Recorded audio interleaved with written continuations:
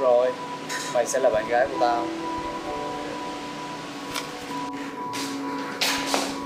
Đợi chút nha, tao sẽ tìm cho mày một cái bể. Cái thằng điên này, bảo tặng bạn gái cho mình. Bây giờ lại tặng con cá. Nó nghĩ mình là Long Vương chắc.